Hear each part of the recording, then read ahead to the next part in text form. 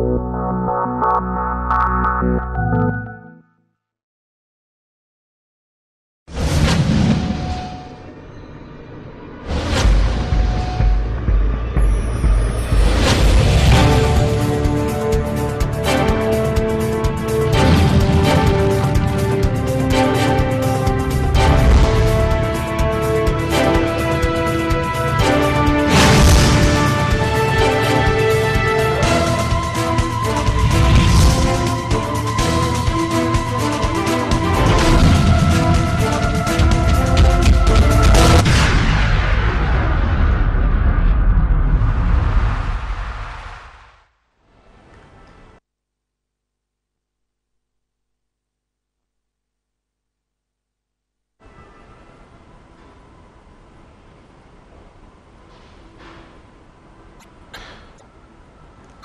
özür birazcık beklettim kendisinde ve izleyenlerimizden e, özür diliyoruz. Haberler uzun olunca, siyaset gündemi yoğun olunca. Efendim diyalog programında bugün akşamki konuğu Milliyetçi Hareket Partisi Tokat Milletvekili adayı avukat e, Afşin Ünverdi. Afşin Bey hoş geldiniz stüdyomuza. Hoş bulduk Murat Bey. Ben de e, öncelikle sizlere, sizlerin aracılığıyla bizi, bizleri izleyen tüm hemşehrilerime, tüm vatandaşlarımıza, ulusal bazda da izleyen tüm halkımıza en derin sevgi ve saygılarımı sunuyorum. Çok teşekkür ederiz. Afşin Bey biz sizi tanıyoruz. Ee, sizin geçmişinizi de biliyoruz ama e, izleyenlerimizin belki tanımayanlar vardır. E, Afşin Ünverdi kimdir? Birazcık bahseder misiniz? Ben 1981 Niksar doğumluyum. İlk öğrenimimin bir kısmını İstanbul'da tamamladım. Ee, ailem o zaman İstanbul'da yaşıyordu. Bir kısmını geldim. Cumhuriyet İlkokulu'nda tamamladım. Ortaokulun birinci ve ikinci sınıfını Tokat Atatürk Ortaokulu'nda okudum. Daha sonra babam 94 yılında Niksar Belediye Başkanı olarak seçildikten sonra Niksar'a yerleştik. Liseyi Niksar'a tamamladım. Daha sonra e, hukuk tahsilimi tamamlamak için İstanbul'a gittim. 2005 yılında mezun oldum. İki yıl kadar İstanbul'da avukat olarak görev yaptım. Daha sonra askerlik hizmetimi tamamladıktan sonra Tokat'a geldim. 2007 yılından bu tarafa Tokat'ta serbest avukatlık yapmaktayım. Aynı zamanda avukatlık faaliyetimi yürü- yürütürken iki dönem Tokat Barosu'nda yönetim kurulu üyeliği yaptım. Son dönem Tokat Barosu saymanlığı yaptım. Yani Tokat'ta serbest avukatlık yapıyorum şu an. E, evlisiniz. Evliyim, bir tane de kızım var. Allah bağışlasın. Amin. E, peki geçmişinizde bahsettiniz Allah mekanını cennet eylesin. E, babanız 10 yıl e, belediye Pardon. Allah uzun ömürler versin. Ömrünü uzattık. evet, Ahmet Turan e, Ünverdi e, başkanımla e, siz geçmişte e, onun yanında siyasette yetiştiniz. Tabii ki, onun yanında siyasette Tabii, büyüdünüz. tabii. E, neler öğrendiniz? Siyaseti nasıl öğrendiniz babanızdan? Evet. Şimdi şöyle babam 1994 yılında Niksar Belediye Başkanı seçildi ama e, tabii e, Milliyetçi Ülkücü Hareket'in kuruluşundan beri bu hareketin içerisindeydi. Benim daha çok çocukluğum zaten işte miting meydanlarında, işte konserlerde, gecelerde geçti. Esasında ben gözümü açtığımdan beri hep siyasetin içerisindeyim. Hep e, seçim ortamlarındayım. E, hep de zaten ben de büyüdüğüm zaman mutlaka vatanıma, memleketime, bölgeme, halkıma hizmet etmenin gerçekten çok kutsal bir görev olduğu şuuru ve aşk içerisinde yetiştim. Daha çok e, siyasete girmeyi de e, çocuk yaştan beri her zaman hedefliyordum. Yani daha doğrusu ailemden aldığım benim temel eğitim e, gerçekten de e, biraz önce söylemiş olduğum gibi vatanımıza, memleketimize hizmet etmenin gerçekten çok kutsal bir durum olduğuydu. Peki babanız size şunu söyledi mi? Oğlum siyasette şuna dikkat et.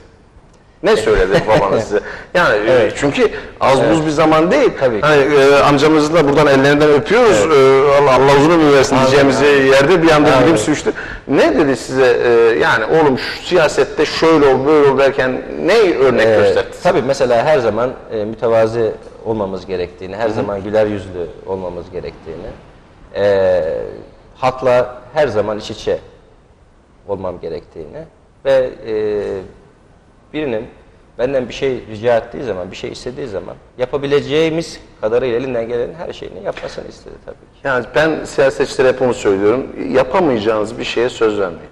Mutlaka. Değil mi? mutlaka. Yani insanların e, çünkü mesela ben görüyorum diyorlar ki işte Ya işte sayın vekilim, sayın başkanım şu mu şöyle yapabilir. Oo iş tamam kolay tamam biz onu hemen hallederiz diyorlar ama e, sonucu neticesinde tabii ki. yapılmadığı zaman o insanların da hayalleriyle, Tabii umutlarıyla oynamış tabii ki, tabii ki. oluyor. Peki Avşin Bey sizin e, baktığımız zaman gerçekten diğer siyasi e, adaylardan birazcık daha ayrı bir yönünüz var. Sizi böyle insanlar daha kendilerine yakın görüyorlar. Daha böyle bir sempatik, daha böyle bir sevecen, Evet. biraz daha afacan tar- tarzda görüyorlar. E, bu neyden kaynaklanıyor? Şimdi e, Afacan biraz daha tabii e, herhalde biraz genç gösteriyor. Mesela aslında yaşım da çok genç değil. Biraz beni e, sanki diğer adaylar içerisinde en genci e, bazen benmişim gibi algılanıyor ama e, benden tabii daha genç yaşlı olan e, aday arkadaşlarımız da var. Biraz daha tabii yaşımın genç olması biraz daha insanlara sempatik geliyor. Biraz daha minyon tipli olmanızdan mı? Olabilir tabii ki. Olabilir. E, tabii ki insanlar da her zaman pozitif enerji vermek istiyorum. E, şimdi e, tabii böyle de olunca insanlar biraz daha herhalde pozitif elektrik alıyorlar. Onu yansıtıyorlar. Bir avantajı veya dezavantajı var mı bu durumun size karşı? Mutlaka avantajı vardır tabii ki. E, insanlarla daha yakın ilişki kurma anlamında. Çünkü siyaset daha doğrusu insanlarla tabii ki e, yakın ilişki kurmak ve insanlarla zaten ne kadar yakın olursanız insanlar kendini o kadar içselleştiriyor ve size daha yakın hissediyor. Bunu ben fark ediyorum gerçekten insanlarla temas ettiğimiz zaman. E, tabii ki insanlarla temas etmek de gerçekten e, bu kısa süre içerisinde gördüğüm siyasette çok önemli bir durum.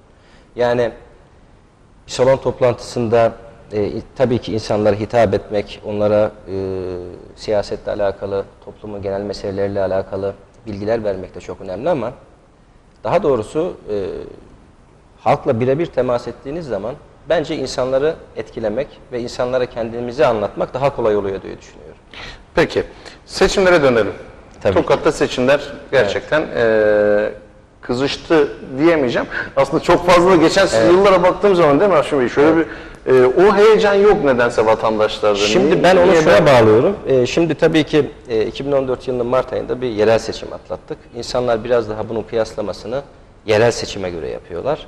Şimdi e, yerel seçimde hep içinde bir belediye başkan adayı var. Beldelerde belediye başkan adayı var. Köylerde ve mahallelerde muhtar adayı var. Aynı zamanda belediye başkanlığı seçimi yapılan yerlerde de belediye meclis üyeleri var. İşte il genel meclis üyeleri var. Bunların tabii ki hepsinin kendi çevresi, kendi ailesi seçimle doğrudan doğruya ilgileniyor. E böyle olunca da eee, saha daha çok ısınıyor, seçim daha çok hissediliyor. Ama şimdi genel seçimlerde her partinin 5 tane işte milletvekili adayı var, 11 tane ilçemiz var. Gerçekten sahamız da çok geniş. Yani bir taraftan işte Zile'nin Çekerek sınırı, bir taraftan Niksar'da işte Ordu sınırı çok geniş bir alan. Tabii şimdi her partinin 5 adayı var. 5 aday bu e, sahaya yayılma anlamında ister istemez tabii bir güçlük çekiyor. Biraz daha tabii yerel seçime nazaran biraz daha sessiz ve derinden gidiyor diyebiliriz. Peki seçim çalışmalarında neler yapıyorsunuz? Nerelere gittiniz? Vatandaşlarla hasbihal ediyorsunuz, onlarla Evet. görüşüyorsunuz, onların görüşlerini alıyorsunuz. Evet. Size ne diyorlar? Sizlerden talepleri ne? Evet. Şimdi e, daha doğrusu benim seçim çalışmam yaklaşık Şubat ayının başında başladı adaylarla süreci. Yani e, işte Şubat ayı tekrar Haziran ayı bir 4-4,5 aylık bir zaman. Gerçekten çok dolu dolu geçti. E, yani benim için de gerçekten bu seçim zaman zarfı benim için çok büyük bir tecrübe oldu tabii ki. Şimdi ilk önce bir aday adaylığı süreci vardı. Daha çok tabii aday adaylığı sürecinde kendimizi partimizin tabanına tanıtmak, onlara ifade etmek gerekiyordu. Onun sonrasında eee, çok şükür işte listeye girdik. Milletvekili adayı olduk partimizden. Bu da benim için çok gurur duyulacak bir şey. Bunu da ayrıca ifade etmek istiyorum. Ondan sonra işte tekrar sahaya girdik. İlk önce ilçe programlarımız vardı. Bütün partimizdeki diğer aday arkadaşlarla beraber ilçeleri gezdik. Daha sonrasında bir nevi işte hani askerde böyle ilk önce Acem Birliği'nden Usta Birliği'ne geçerken herkes birliklerine dağılır ya. E, biraz daha biz e, kendi bölgelerimiz ağırlıklı olmak kaydıyla tabii başka yerlerde gidiyoruz ama tabii ki kendi bölgelerimiz ağırlıklı olmak kaydıyla bölgelerimize dağıldık. İşte birliklerimize e, teslim olduk diyelim. Ne diyor vatandaşlar size? Yani vatandaşları geziyorsunuz, onların elini sıkıyorsunuz, onlarla e, sohbet edip onların sorunlarını bir kere daha milletvekili adayı gözüyle Tabii. dinleme fırsatınız oluyor. Ne istiyor Vallahi vatandaşların vatandaşa, talebi yani vatandaşa bir dokunuyoruz, bin ah işitiyoruz. Şimdi esnafın yanına gidiyoruz. İşte kendi zorunlu ihtiyaçlarımızı dahi gideremiyoruz. İşte büyük işte AVM'lerin, büyük şirketlerin işte memleketimize gelmesiyle doğru dürüst para kazanamıyoruz. İşte küçük esnafı kimse görmüyor diyor. İşte genç bir kardeşimizle karşılaşıyoruz. Ben işte üniversite mezunuyum, iş arıyorum diyor. Hele hele köylere gittiğimiz zaman aman Allah'ım zaten eee köylümüzün, çiftçimizin durumu gerçekten çok kötü. Mutlaka o da gireriz. Yani 7 Haziran 2015 seçimlerine hazırlanıyoruz ama gerçekten ülkemizin siyasal, sosyal ve ekonomik anlamda gerçekten çok zor durumda olduğu bir dönemdeyiz. Yani e, tabii ki siyasal açıdan ülkemiz maalesef adım adım bölünme sürecine doğru sürükleniyor. Yani hükümet partisinin bir taraftan işte Kandil'le pazarlıklar yapması, bir taraftan Oslo'yla masaya oturması, bir taraftan İmralı'ya göz kırpması, işte güvenlik güçlerimizin bununla mücadele eder halden dışarı çıkartılması, işte çeşitli kumpaslar, er, işte baştan Ergenekon'uydu, daha sonra Balyoz, işte şimdi farklı şeyler. Şimdi önceden e, ne deniyordu? Biz bunlara işte terör örgütleriyle masaya oturulmaz dediğimiz zaman bizim sanki bunu e, çözümsüzlüğe doğru sürüklediğimiz söyleniyordu ama daha sonra işte o zamanın başbakanı, şimdiki cumhurbaşkanı da işte geçen siz takip etmiştirsiniz. Masada yok, işte Kürt sorunu da yok, hiçbir şey yok diyerek bizim çizgimize gelmiş durumda ama e, bunun tabii ki ifadesi dahi kötü. Yani biz Türkiye Cumhuriyeti'nin bu kutsal topraklarından bir çakıl taşının dahi bölünemeyeceğine inanıyoruz. Biz varken zaten bunun olmayacağına da iman ediyoruz. Bunda hiçbir şüphemiz yok ama maalesef 7 Haziran'dan sonra neredeyse Güneydoğu'da özel bir federatif bir Kürt devletinin dahi olabileceği ifade edilir hale gelmiş. Yani ifadesi bile benim tüylerimi diken diken ediyor. Bu çok kötü bir durum. E bir taraftan ülkemiz maalesef sığınmacı üssü haline gelmiş. Yani ülkemizde 2,5 milyon sığınmacı var. 2,5 milyon sığınmacı ne demek? Bir Eskişehir ilinin nüfusu demek. Yani bir Eskişehir ilinin nüfusu ülkemizin sırtına kambur. Nasıl kambur? Maddi anlamda kambur. Yani e, bunlar tabii ki bizim gariban vatandaşımızın vergileriyle bunları e, karşılıyor.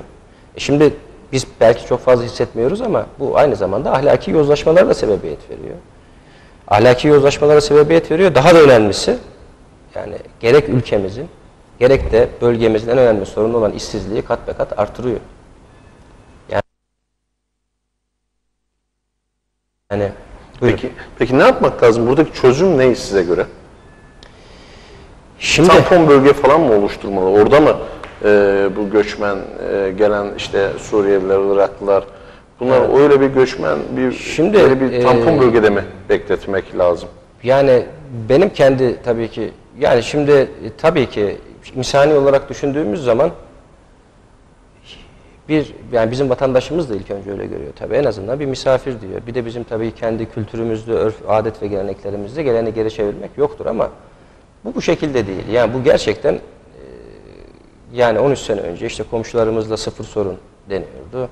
İşte bizim işte Fenerbahçe takımı Şam'a gidiyordu. Bir dostluk müsabakası yapılıyordu. Yan yana maçı izliyorlardı. Ama buradan bu duruma geldi. Ben e, bunu söylerken dış politikamızın ne kadar kötü olduğundan bahsettim. Ve e, işte seçimlere giderken bu durumun ne kadar artık büyük vahamete geldiğini söylemek istedim. Gerçekten e, uyguladığımız dış politika nedeniyle İslam ülkeleri kan, barut ve gözyaşı altında kalmış durumda.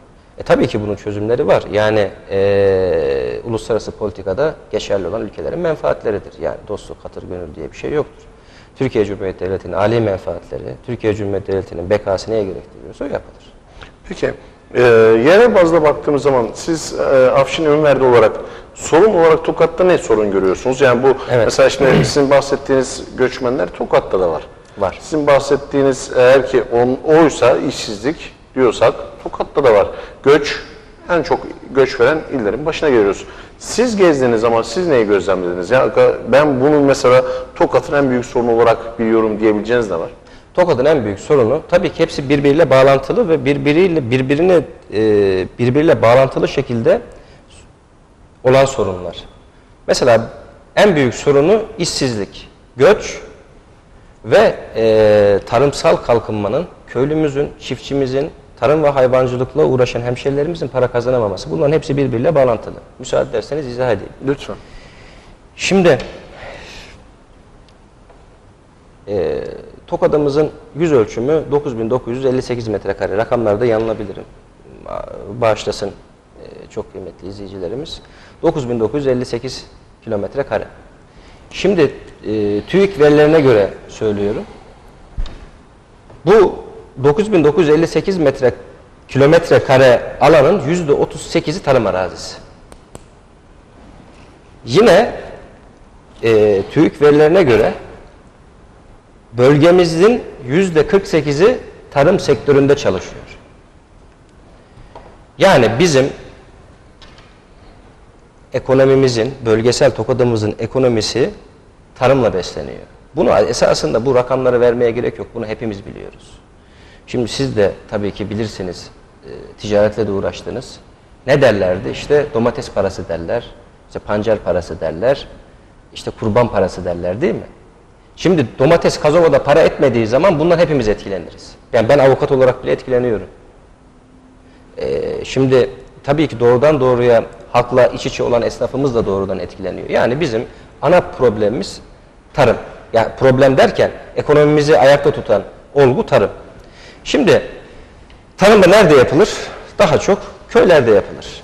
Şimdi köylerimizde yaşayan gençlerimiz 18 yaşına geliyor, askerliğini bitiriyor. Ne yapıyor? Büyük şehre gidiyor. Neden? Çünkü ailesi tarım ve hayvancılıktan kazandığı parayla ikinci bir aileyi idame ettirecek kadar geliri maalesef yok. Bu neden peki? Çiftçi para kazanamıyor. Niye? Kazandığı mazot parasına gidiyor, gübre parasına gidiyor, tohum parasına gidiyor, ilaç parasına gidiyor. Ama öbür tarafta devlet de diyor ki biz bu kadar destek verdik diyor. Yani e, zaten e, köylüye ilk verilen destek bizim Milliyetçi Hareket Partisi'nin koalisyon ortağı olduğu dönemde Tarım Bakanımız Hüsnü Ziya Gö- Gökalp döneminde verilen bir destek. E, ama e, zaten destekle ilk defa zaten Milliyetçi Hareket Partisi'nin iktidarıyla tanıştı vatandaşlarımız. Ama daha sonra tabii ki mazotun bu kadar yükselmesi, ilaç parasının, gübre parasının, tohum parasının bu kadar enflasyonun yükselmesi karşısında bu verilen zaten destekler köylüyü maalesef tatmin etmemekte. Şimdi 4 lira 20 kuruşa geldi mazotun litresi. Ben de 4 lira 20 kuruş veriyorum mazota. Siz de öyle veriyorsunuz. İşte 4000 motor olan, lüks otomobil olan bir vatandaş da 4 lira 20 kuruş veriyor. Ama o köylü alnının terini o bizim kutsal topraklarımıza akıtıyor ve buradan ürün elde etmeye çalışıyor. Biz belki zevkimize Tabii geçiriyoruz, tabii. mi? Yani buradan ürün elde etmeye çalışıyor. Ee, ailesinin iaşesini gidermeye çalışıyor. O da aynı parayı veriyor. Bu tamam çok bir adaletsizlik. Yani e, biz bunu insanlarımıza anlatıyoruz. Biraz tabii ki şey geliyor. Ama ülkemizde mesela marinalarda duran yatlar 1 lira 80 kuruştan alıyor. Yani gemicikleri olanlar 1 lira 80 kuruştan alıyor. Yani onlara 1 lira 80 kuruştan veriliyorsa bizim köylümüze de 1 lira 75 kuruştan verilir bu mazot litresi. Peki e, çok poleme neden oldu bu mazot konusu. E, adeta açık artırma gibi oldu. Artık izleyenlere de bize soruyorlar. Diyorlar ki kim istiyor bir buçuk, kim istiyor ki 1.75, kim diyor ki e, mümkün değil bu fiyatlara mazot veremezsiniz. Siz baktığınız zaman şöyle e, Verilir. gerçekten verilir. Gerçekten verilir. Ayağı yere kesinlikle basan- kesinlikle verilir. Şimdi bizim seçim beyannamemiz 3 Mayıs 2015 tarihinde açıklandı. Diğer siyasi partiler arasında da en geç açıklanan seçim beyannamesiydi. Ee, ekonomik anlamda zaten şimdi Türkiye'nin siyasal sorunlarından biraz bahsettik. Tabii ki e, vatanını, memleketini seven insanlar için bahsetmiş olduğum şeyler birinci önceliklidir ama Başka önceliklerimiz de var. Bu da ekonomidir. İnsanı doğrudan doğruya ilgilendiren bizim seçim beyannamemizin ana temasını da zaten ekonomik e, kalkınma oluşturur. Ekonomiyi de zaten biz tarımla e, kalkındırmak istiyoruz. Çünkü artık ülkemizde yaklaşık 12 senedir inşaat sektöründe bir ağırlık verildi. Ama bu sürdürülebilir bir kalkınma planı olmadığını işte geçenlerde e, Bülent Arıç olsun, Ali Babacan olsun açıkladı. Yani üretime dönük bir kalkınma planı değil bu. Bir de Milliyetçi Hareket Partisi'nin köylüye ve çiftçiye, hayvancıya bakış açısı da çok farklı. Yani Türkiye'nin artık kalkınmasını tarım ve hayvancılıkta gören bir zihniyete sahibiz. Ve e, bunu da çok profesyonelce hazırlandı. Şu anda Uşak Milletvekili adayımız Durmuş Yılmaz Bey'in de başında olduğu bir komisyon hazırladı.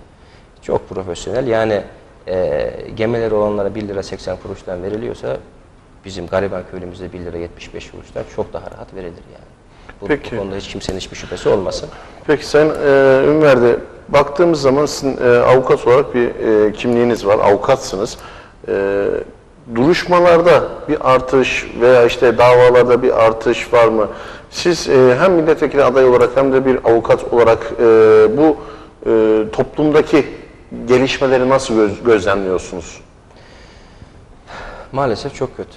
Nelerde artış var onu da ben merak ettiğim için. Yani mesela boşanma oranlarında çok fazla artış var. Yani e, çünkü boşanmaların büyük bir çoğunluğu da yani boşanmaların temelinde de zaten ekonomik yetersizlik geliyor. Yani bir ailede maalesef ekonomik yetersizlik olduğu zaman o aileye huzur girmiyor. E, ikinci olarak icra dosyalarında çok büyük bir artış var. Mesela Tokat'ta şu an iki tane icra dairesi var. Çok şükür üçüncüsü de açılacak. Öyle mi? Yani sanki çok büyük bir şey olmuş gibi, Tokat'a bir havalanana yapılmış gibi veya Tokat'a çok büyük bir ulaşım yolu yapılmış gibi de e, anlatılıyor. Yani Tokat'ımızdaki, e, Tokat'taki insanların ne kadar zordu çünkü iki tane icra dairesi gerçekten yetmiyor. E, geçen sene 12 bin esasla kapatmıştı. Tokat birinci icra dairesi, ikinci icra dairesi de o kadar 24 bin eder. Yani en aşağı bir 24 bine diğer ilçelerde vardır. 48 bin yani 48 bin kişili icralık. Ama e, daha kötüsü insanlar artık icralık olmayı maalesef kanıksamış durumda. Şimdi e, eskiden bir kişi icralık olduğu zaman işte bütün ailesi seferber olurdu, şey yapardı bunu hemen halledelim falan ama maalesef insanlarımız o kadar zor durumda ki artık icralık olmak normal vakayı adi eden hale gelmiş durumda. Peki e, vatandaş bilinçli mi bilinçsiz mi bu konuda? Yani şimdi ben baktığım zaman soruyorum diyorum ki vatandaşlara çıkıyoruz soruyoruz. Sizin diyorum bankaya borcunuz mı? Var. Türkiye'de size göre kaç kişinin bankaya borcu yoktur? Şimdi bakın çok e, enteresan bir durum. 2014 yılı verilerine göre Tokat'ta toplam verilen kredi 3 milyar liraya geçiyor. Son 10 senedeki bankalardan alınan kredi ise 16 milyar lirayı. Ben bazen karıştırıyorum kusura bakmayın. Yani 16 katrilyonu buluyor. Yani bunu da e, Tokat'ın nüfusuna böldüğümüz zaman kişi başına yaklaşık yani bu yeni doğmuş bir bebekten 85 yaşındaki bir dedemize kadar ortalama kişiye böldüğümüz zaman 5600 lira hepimiz borçluyuz yani. Hep hepimize böldüğümüz zaman kişi başına 5600 lira düşüyor. Peki Bankaya ne, nereden geliyor bu kadar lüks? Bakıyorsunuz şimdi, baktığım zaman da herkesin şu kadarcık çocukların bile cebinde en son Evet. cep telefonu. Evet. Maşallah Tokat'ımızda araba sıkıntısı hiç yok. İki kişiden bir kişide araba var. Yani peki bunun bolluk nereden geliyor? Bankalardan mı alıyorlar? Ya borçlu mu geziyorlar? Maalesef şimdi bizim e, insanımızın bankaya bakış açısı biraz daha farklı. Yani esasında burada bankaya bir yatırım aracı olarak bakmak lazım. Yani e, ben işte normalde nasıl değerlendirebilirim? Varlığımı, mevduatımı veyahut da bir iş kuracağım zaman nasıl daha ileri gidebilirim diye değerlendirmek lazım. Ama bizim insanımız onu hazır para gibi görüyor biraz daha. Hazır para gibi görmüyor veyahut da işte ben e, bir ev alacağım, bir araba alacağım veya bir iş kuracağım diyerekten o parayı sanki hazırdan gelmiş bir para gibi görüyor ama maalesef tabii ki evdeki hesap çarşıya da uymayınca böyle oluyor. Ama bu sadece halkın halkımızın problemi değil. Yani buna iten tabii ki başka sebepler de var. İşte e, konuşurken süre gelen bütün problemler bunları da tetikliyor tabii ki. Peki e, hani avukatlıktan bahsediyoruz. E, anayasa çok konuşuluyor gündemde. Yeni anayasa. E, birazcık açar mısınız? Bu yeni anayasa nedir? Yani sizin gözlemlediğiniz kadarıyla yeni anayasada Ben, neler ben buna, değişecek? ben buna inanın Murat Bey teknik anlamda bir hukukçu olarak bakmıyorum. Niye? Çünkü yani bu işte hukuksal kendileri reform diyorlar ama e, bu hukuksal değişikliklere, kanun değişikliklerine biz işte 2002 yılında işte bu hükümet partisi iktidara geldi. 2005 yılında bir ceza muhakemesi kanunumuz ve Türk Ceza Yasamız değişti. Biz dedik ki artık gerçekten işte e, ülkemizin, insanlarımızın durumuna göre gerçekten işte istenimlerine göre hazırlanacak gerçekten daha çağdaş bir yasa olacak gibi baktık ama biz kandırılmışız tabii. 2005 yılından sonra işte bir Ergenekon'dur, bir işte balyozdur operasyonları başladı. Meğer bunların altyapısını oluşturmak için yapılmış bunlar. İşte daha sonra dendi ki e, tabii Ergenekon balyoz operasyonları belli bir seviyede artık tıkandığı zaman eee, bu sefer devletin anayasal kurumlarının değiştirme ihtiyacı duyuldu. İşte biz tekrar işte bunu işte ileri demokrasiye taşıyacağız falan dediler. O zamanki işte işte HSYK'ya e, HSYK'nın yapısını e, değiştiren bir anayasa değişikliğini halkımızın oyuna sundular. O zaman da dediler ki hatta işte 12 Eylülcüleri de yargılayacağız, şunu yapacağız, bunu yapacağız. Tabii ki hepsi hikaye. Yani nasıl ki iç- içeride bir zehir var, dışını hemen bir şekerle kaplıyorlar. Bu bir şeker gibi halkın önüne sunuyorlar. Bunu, bunda da çok başarılı oluyorlar maalesef. Ee, daha sonra tabii anladık ki e, bu da öyle değil. E, sonradan işte biz kandırıldık, onlar da kandırıldık e, dediler. Bu sefer tam tersine döndü iş. E, belli bir seviyeye geldi. Şimdi tamamen işte başkanlık sistemi adı altında tam bir diktatörlük artık. Hiçbir anayasal engelin olmadığı tam bir diktatörlük için işte bana işte 400 milletvekili verin. İşte ben anayasayı değiştireyim, başkan olayım gibi bir durum var. Yani ben bunun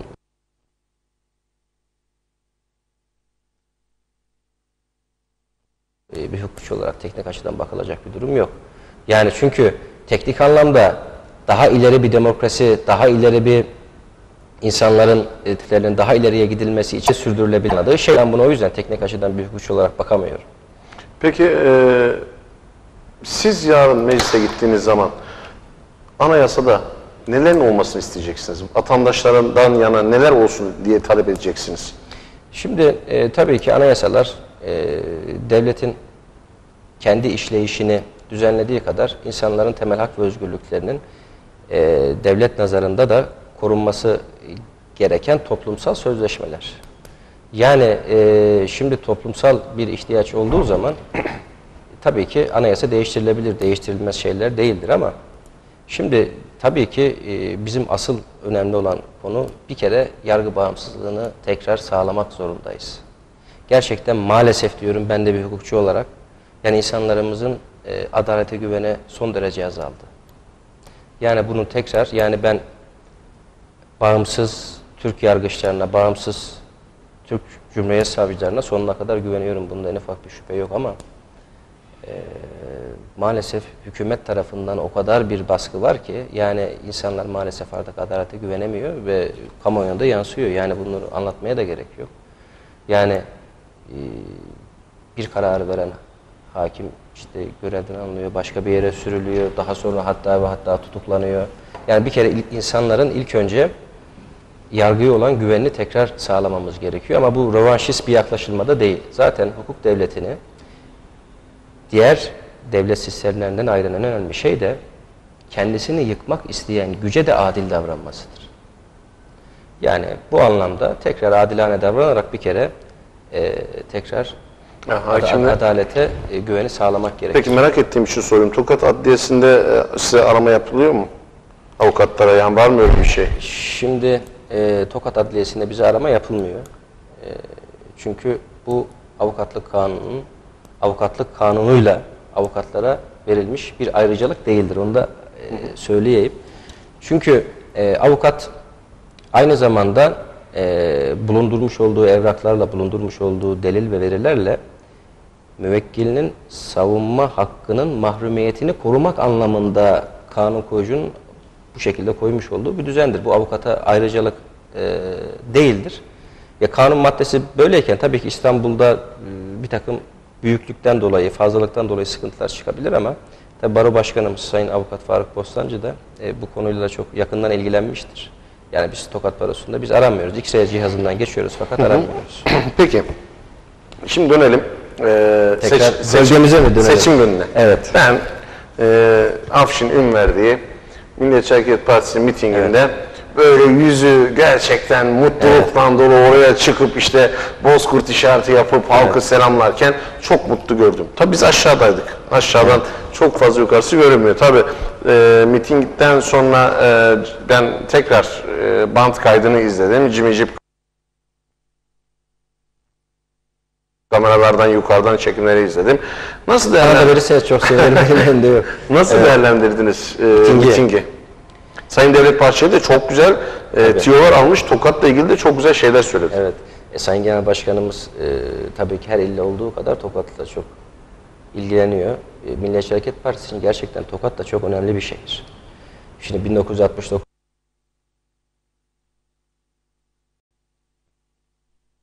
yılından beri baraj altında kaldığı seçimler de dahil olmak üzere her zaman milletvekilimiz olmuştur. Baraj altında kaldığımız seçimlerde de milletvekili çıkartacak kadar oyu almışızdır. O anlamda Milliyetçi Hareket Partisi için Tokat çok önemli bir şehirdir.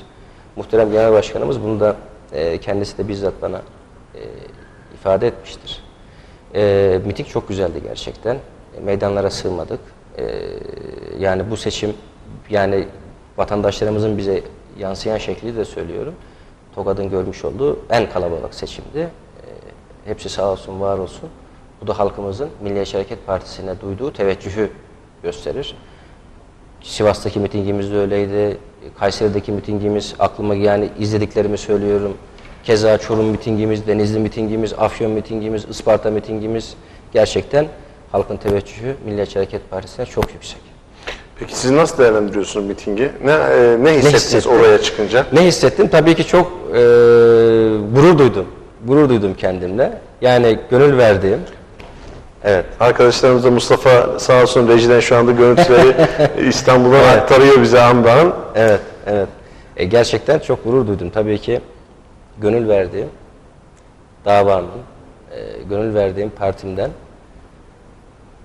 milletvekili adayı olmak benim için çok büyük gurur duyucu olay. E, tabii ki orada da partililerimizle, halkımızla da kucaklaşmak gerçekten gurur duydum. Peki. Evet. güzel bir Tokat'ta e, Cumhuriyet Meydanı'nda güzel bir miting oldu. Evet. E, gelenler de memnundu, e, izleyenler de memnundu. Bizim için de en güzel memnun edici şey e, hiçbir olay çıkmadan ne güzel Tokat'ta siyaset ilerliyor. E, peki siz adaylar arasında nasıl ilerliyor siyaset? E, diğer e, adaylarla gittiğiniz yerlerde karşılaşıyor Karşılaş- musunuz? Onlarla e, tepkiler nasıl? Yani e, mutlaka ki hepimiz insanız sonuçta. Ben şuna da inanıyorum ki Afşin Ünver'de e, insancıl bir kişiliğe sahip ve herkesin elini sıkmaktan yana centilmen bir erkek. Tabii. E, Çok teşekkür ederim. Neler yap? Elimden- nasıl bir e, ele- atmosfer e, oluşuyordu? Elimden geldiği kadar e, tabii ki herkesin elini sıkmaya çalışıyorum. Diğer milletvekili adaylarıyla da diğer siyasi partideki milletvekili adaylarından bahsediyoruz herhalde değil mi? Evet. E, herhangi bir sıkıntı yaşamadık ama e, sadece bir yerde ben çok yani yakıştıramadım. Yani bir milletvekili adayına e, Turhal'da bir programa katılmıştık. E, Kazovalılar Derneği'nin yapmış olduğu bir açılış programıydı. Sayın Hüseyin Erkan iki katla birlikte gitmiştik. Hükümet Partisi'nin bir milletvekili adayı da oradaydı. Biz oraya girerken yani gerçekten burası bir dernek. E, oradaki mülki amir, bürokrasi, protokol de oradaydı. Her siyasi kesimden insanlar da vardı. Biz oraya giderken herhangi bir siyaset yapmak falan gibi değil. Sadece oradaki açılışı tebrik etmek için Sayın Erkan iki katla birlikte gittik. E, dediler ki işte size de bir söz hakkı vereceğiz. E, hanginiz yapmak istersiniz diye. Ben dedim ki Erkan Bey de Kazovalı'dır, onun yapması daha uygun olur dedim. Kendisi çıktı, hiç siyasete girmeden tamamen e, memleket... Yüzeysel. Yüzü- yani yüzeysel de değil, gerçekten birleştirici, bütünleştirici bir konuşma yaptı. Memleketin sorunlarına dikkat çekti ama bir siyaset yapmadı. Daha sonra o hükümet partisi milletvekili adayı dedi ki, ya arkadaş sen ne konuşuyorsun ki dedi, sen seçilemeyeceksin dedi. Yani e, gerçekten e, tabii ki e, herkes kendi mizacına göre, kendi seviyesine göre konuşur. Yani burada da asıl önemli olan e, burada halkın iradesiyle dalga geçmektir. Yani ne olursa olsun biz ne yaparsak yapalım nasıl olsa halk bize oy verecek gibi bir izlenimdir. Ama e, halk bunu cezalandıracaktır. 7 Haziran'da göreceğiz. Halk bunu cezalandıracaktır. Sizin bir de sloganınız var herhalde. Beşi bir yerde mi Evet, diyorsunuz? beşi, evet beşi bir yerde diyoruz. Ee, beşi bir yerde diyoruz. Ee, sağ olsun onu halkımız bize yakıştırdı. Beşimiz bir yerde, beşiniz de değerlisiniz. Beşiniz de pırlanta gibi, altın gibisiniz. Peki e, diğer Milliyetçi Hareket Partisi milletvekili adaylarıyla e, siz il, il yönetimi, ilçe yönetimi tam bir kenetlendiniz mi Tabii. bu seçimlere? Tam Nasıl? bir, e, tam bir birlik ve beraberlik içerisindeyiz. İl başkanı nasıl mesela? Nasıl çalışır mı Fatih Demirkol? Çok iyi, çok iyi. Gerçekten bu süreci de çok güzel yönetti. Çok başarılı e, bir il başkanı. E, o da bizim gibi gece gecesine gündüzüne katarak e, çalışıyor. E, şu an her şey çok iyi. Zaten birinci sıradayımız Sayın Abdurrahman Başkan. E, Genel Başkanımızın baş danışmanı. Aynı zamanda senelerce İstanbul İl Başkanlığı yaptığı e, tarım sektöründe aynı zamanda bir sanayici. Şimdi e, ben köylere gittiğim zaman şunu söylüyorum. E, şimdi bakıyorum ya bir milletvekilinin kendi köyünün yolunu dahi Yaptırmamış ya. Ya bir milletvekili kendi köyünün yolunu yaptırmaz mı ya? Nasıl gidiyor o köye? Ya ben diyorum ki arkadaş bunlar sizin yanınıza nasıl geliyor? Ne diyor sizlere diyorum. Şimdi daha sonra duyuyoruz ki işte e, Tokat'ımızın en üst bürokrasisinden adamları da yanına alıyorlar. İşte bunlara destek verin de işte bu sefer bakan çıkacak diyorlar.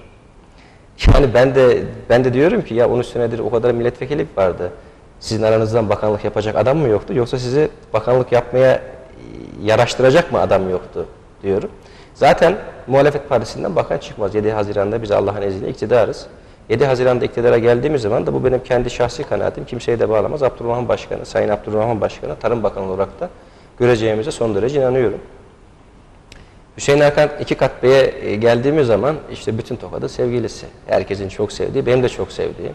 Yani 2014 yerel seçimlerinde şimdi bizim kardeşlerimiz, arkadaşlarımız bizlerin yanında nasıl e, geziyorsa, bizlerin başarısını ne kadar istiyorsa ben de bir Tokatlı olarak onun başarısını o kadar istemiştim. Onunla beraber çalışmıştım. Gerçekten çok mütevazi duruşuyla, Tokat e, sevdasıyla o da e, çok iyi bir aday. Yücel Bey e, partimizin disiplin kurulu genel sekreteriydi. Şimdi disiplin kurulu başkan yardımcısı yar- yardımcılığı yapıyor. İşte konuşmaları, hitabeti, e, Türkiye meselelerine olan vakıflığı o da çok büyük bizim için bir kazanç. E, beşinci sıradaki adayımız ise hepimizin bir kız kardeşimiz. Yeşil Yurtlu. O da o kadar e, Onu da bir yerel seçimlerde Tabii tabii. belediye Ee, başkanlığı. ve o kadar kumpasa, e, hileye, e, desiseye rağmen yiğitçe durmuş, Yeşilurt'taki seçimleri yürütmüş. O da çok sevdiğimiz bir kardeşimiz. Yani bizim listemiz gerçekten çok çok iyi. Beşiniz giderseniz Tokat'a ne yapacaksınız? Vallahi- Tokat ne hale gelecek? Vallahi Tokat herhalde beşimizde gidersek Türkiye'nin en büyük marka şehri olur. Zaten beşimizin gitmesi demek Milliyetçi Hareket Partisi'nin tek başına açık ara iktidar olması demek ki ben düşünemiyorum yani. Peki ne yaptırırsınız? Diyelim ki meclise gittiniz. İlk görüşmede Tokat'a ne istersiniz? Tokat'a şunu yapalım mı Şimdi dersiniz? ilk görüşmede ben il- ilk önce bir kargo havalimanı yaptırırım Tokat'a. Neden? Çünkü bizim için şimdi orada şey oldu, tarımsal bir kalkınmaya geçtik ama orada konu değişti. E şimdi müsaadenizle tekrar oraya da gelebilirim. Şimdi e, esasında göç vermemizin temel nedeni oradaki tarım ve hayvancılıkla uğraşan insanlarımızın para kazanamaması dedik. İşte mazota ve gübreye fazla para vermesi dedik. Şimdi bir kere bunları aşağı çekmemiz lazım. Yani köylüye mazotu 1.75 liradan verdiğimiz zaman, işte gübreden, tohumdan, ilaçtan kadeve almadığımız zaman, tarım ve hayvancılıkta kullanmış olduğu elektrik ve sudan vergi almadığımız zaman zaten kazancı iki katına, iki buçuk katına çıkacaktır. Bu bir. Şimdi ikincisi, bizim için önemli olan ne vardır? Bir kere bizde meyvecilik özellikle Kazova'da işte Vavru, Kemalpaşa tarafı o havzada meyvecilik de çok önemlidir. Şimdi bu kiraz mesela çok Tokat'ın kirazı meşhurdur. meşhurdur. Yani bunun bir kere pazarını oluşturmak lazım. Şimdi pazarını oluşturabilmek için de ulaşım ağlarının çok iyi olması lazım. Şimdi bizim maalesef ulaşım ağlarımız çok kötü. Şimdi e, bu kiraz da çabuk bozulabilir bir şey. Mesela domatesi neredeyse yeşil şekliyle sat- satmak zorunda, ucuz fiyata satmak zorunda kalıyor köylümüz. Bunların hemen e, servisinin sağlanması lazım ki bir kere e, buradaki tarımsal kalkınmayı bu şekilde başlatabilelim. İlk önce e, ben bir kargo havalimanı yaptırırdım Tokat'a. Yanı sıra bir de soğuk hava deposu yaptırın. Şüphesiz et ve balık. Hı hı, yani, Ee, değil mi? Çünkü o meyve sebze burada e, toplandığı zaman mahsul bir şekilde e, soğuk havada bekletilmesi gerekiyor. Tokat'ta bence çok yani büyük bozulmadan bir an evvel köylümüzün e, ürününün pazar bulması önemli. Şimdi böyle olduğu zaman inşallah Tokat'ımız göç vermeyecek. Tokat'ımızdaki işsizlik de önlenmiş olacak. Ben küçüklüğümde hatırlarım, siz de hatırlarsınız bizim yaylarımız sürülerle dolu olurdu, bembeyaz olurdu. Şimdi tarım ve hayvancılık, yani küçükbaş hayvancılıkla, büyükbaş hayvancılıkla uğraşan insanımız kalmamış durumda. E Şimdi ben e, tabii ki bir araştırma yaptım. E, Tarım İl Müdür, İlçe Müdürlüğü'ne gittim. Dedim ki siz teşvik veriyor musunuz küçükbaş hayvancıya? Dediler ki işte 300-400 koyun olana 5 milyar para veriyoruz. Ya ne kadar anlamsız bir şey. Yani 300 koyun olanın 5 milyar paraya ne ihtiyacı var? Bir kere buradaki kalk yani bu, bu insanlara bunları yapabilmesi için çok fazla destek verilmesi lazım ki bu insanlar burada bir e, kalkınma sağlayabilsin, buradaki şehre tutunabilsin. İşte göç vermeyelim. Göç bunlarla oluyor zaten. E şimdi buradaki insan e, kazanamadığı zaman ne yapıyor? E, gidiyor. Orada da hiç niteliğini hiç hoşlanmadığı şekilde yok pahasına Ee, zaten ülkemizde asgari ücret artık normal ücret hale gelmiş. Yani yaptığı işin niteliği ne olursa olsun, kaç saat çalışırsa çalışsın almış olduğu ücret asgari ücret. Ee, maalesef bu hükümet de aynı zamanda işçiye köle muamelesi yapıyor. Yani e, gerekli güvenlik tedbirlerini de almıyor işçi sağlığı için. İşte bu e, maden faciasında bunu gördük hepimizin vicdanı sızladı. Bunların mutlaka düzeltilmesi gerektiğini düşünüyorum. Peki mutlaka ki ulaşım şart bir il için. Şimdi şey için de şart, tabii ki sanayi için de şart. Şimdi bir sanayinin memlekete gelebilmesi için, sanayinin burada para kazanabilmesi için işte soruyorlar. Diyorlar ki siz geldiğiniz zaman işte sizin eşiniz, dostunuz, akrabanız var mı burada üretim sağlayabilecek veya burada işte sanayi yapabilecek bir yatırımcı getirebilecek misiniz diyorlar. Bir kere yani e, kimse hatıra gönlüne buraya gelip de bir fabrika yapmaz. Hatıra kimse ti- ticarette yani e, durduk yere bunu yapmaz. Bir kere ilk önce bunun altyapısını sağlamak gerekir. Ee, şimdi bunun altyapısı nasıl sağlanmalı? Bir kere e, buradaki sanayi ya ham maddeye yakın olması gerekir veyahut da ulaşım alanlarına yakın olması gerekir. Bunlar da olmayınca zaten para kazanamıyor. E olanları da gördük. E olanların hepsi kapanmadı mı? Hepsi iflas etmedi mi? Biz bunları tabii ki mesleğimiz gereği de yakından takip ediyoruz. Siz de bu şehrin içindesiniz. Halkımız da mutlaka takip ediyordur. Olan fabrikalarımızın büyük bir çoğunluğu da kapandı. Ama bunun ilk önce bir altyapısını oluşturursak işte bu sürdürülebilir kalkınmayı inşallah memleketimizde de gerçekleştiririz. Peki e, Sayın Afşin Ünverdi birazcık da spora değinelim istiyorum ben. E, sizleri mutlaka ki ilerleyen günlerde tekrar konuk alacağız. O zaman daha İnşallah. detaylı da Çok konuşacağız. memnunum. Çağırırsanız her zaman gelirim. Tabii her zaman biz bekleriz. Başımızın üstünde yeriniz var. Biz bütün siyasi partilere aynı eşit ölçüde yaklaşmaya çalışıyoruz. şüphesiz, çok E, Toka Spor camiasını e, özlemini çektiği sporla iç içe bir vekil olacaksınız siz sanırsam. İnşallah. Siz çünkü İnşallah. sporttan bir yapınız var. Sporu seviyorsunuz. Çok seviyorum. Değil mi? E, Toka Spor'a e, neler yaparsınız meclise giderseniz? Valla Milliyetçi Hareket Partisi iktidar olsun ben de milletvekili olayım. Hani siz söz, sordunuz ya işte Toka'da ilk ne yaparsınız diye. Aslında ilk yapacağım şeylerden bir tanesi de Toka Spor'u şaha kaldırmak olur. İlk önce inşallah PTT 1. Lige daha sonra da Süper Lig'e çıkartmak olur. Spor önemli. Bunun için bunun için yani sizi temin ediyorum. Var gücümle çalışırım. Devletin bütün yani yapabileceğim bütün imkanlarını buna seferber ederim. Gerçekten çocukluğumdan beri hayalim. Yani her ilin e, Süper Lig'de takımı var. İnşallah Tokat Spor'da yani biz inşallah biz görürüz e, Süper Lig'de olduğu zamanlarda bir ilin kalkınması için gerçekten çok önemli. Hani hep turizm diyoruz. Evet. E, reklam diyoruz. Tokat'ın e, reklamını yapalım diyoruz ama işte spordan daha büyük reklam olmaz. Bir Galatasaray geldi, Tokat'ın çehresi değişti Tabii değil ki. mi? Yani oraya gelen binlerce kişi burada e, gelip alışveriş yaptılar, Tokat'ın yazmasını aldılar, Tokat'ın çökeleğini aldılar. Benden bile gelen misafirler, ya Murat yaprak nereden alabiliriz? Bizim hanım ev işte İzmir'de oturuyor, adam Galatasaray maçına gelmiş. Ya Murat İzmir'e yaprak istedi hanım, "Naz- nereden alayım, en iyisi neresidir diye. Adamlar Tokat'ta bir sirkülasyon yarattılar. Tokat isminin duyulması. Mesela bugün bir Galatasaray veya Fenerbahçe Tokat Spor maçını kaç kişi izler değil mi? Siz televizyoncusunuz daha iyi bilirsiniz. Orada Tokat Spor'un yazması bile Tokat'ın bir reklamıdır yani. Biz de inşallah levhalarımızı koyduracağız girişlere. İnşallah. Ee, işte biliyorsunuz Tokat'a gelişte levhalarımız yoktu. Biz çok çabaladık, çok mücadele ettik ya bir levhamız olsun bizim de bir tane. Ankara'dan gelirken siz Tokat levhası görüyor musunuz hiç? Yok. Biz de görmüyorduk. İşte e, baya baya baya bunların e, söyledik Sayın Valimize sağ olsun Sayın e, Belediye Başkanımıza ilettik. Dedik ya Tokat'ın levhasını da koyun. Karayolları nihayet bir iki yere levhamızı koymuş. Tokat levhamızı e, görüyoruz. İnşallah, Tokat hak ettiği yere gelir diyelim. Ben şöyle izleyenlerimizden sizi bir baş başa bırakayım. Siz ne söylemek istersiniz izleyenlerimize? E, Avşin Ünverdi, Milliyetçi Hareket Partisi Tokat Milletvekili adayı. İzleyenlerimize ne söylemek ister? Onlardan neyi talep eder? Ben size onlardan bir baş başa bırakayım Avşin Bey. Şimdi e, ne isterim? Sözlerimin başında da yani programımızın başında da söylemiş olduğum gibi yani vatanına, memleketine hizmet etmek isteyen bir gencim. Genç sayılabilecek bir yaşta, şu an 33-34 yaşındayım. Genç sayılabilecek bir yaşta bütün enerjimi, bütün sinerjimi, bütün dinamizmimi halkımın, bölgemin emrine amade etmek istiyorum.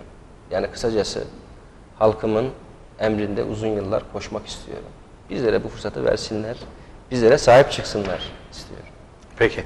Bizler de size yayınımıza katıldığınız için Çok teşekkür, ederim. ediyoruz. Çok keyifli bir program oldu benim Sağ olun, için de. çok teşekkür ederiz. ederim, sağ olun. Sevgili izleyenlerimiz bugün e, diyalog programının konuğu Milliyetçi Hareket Partisi Tokat Milletvekili adayı avukat Afşin Ünverdi'ydi. Onunla sohbet ettik. Onu sizlere e, bir nebze olsun Kanal 60 ekranlarından tanıtma fırsatı bulduk. Dediğim gibi ilerleyen günlerde inşallah Sayın Afşin Ünverdi ile birlikte e, bir program daha gerçekleştiririz. Bu sefer e, daha derin konularda Tokat'ı değerlendiririz. Tokat'taki e, yapılması gereken, yapılması planlanan işleri ve Milliyetçi Hareket Partisi'nin seçim beyannamesinde Tokat'ın ne kadar yer alacağını konuşuruz diyorum. Ben çok kıymetli konuğuma bir kez daha teşekkür ediyorum. Bizlerden, teşekkür ederim. Bizlerden ayrılmayın lütfen. Ee, siyasetin nabzı Tokat'ta atıyor.